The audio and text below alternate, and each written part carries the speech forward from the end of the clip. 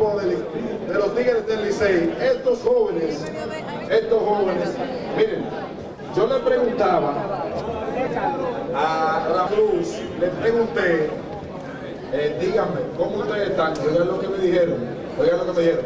Bueno, las prácticas son a las 9 y desde las 6 de la mañana ellos están trabajando ahí para que todos ustedes se sientan orgullosos de lo... Vamos a ver, señores, este es el momento, atención, este es el momento en que ustedes pueden pedir un deseo.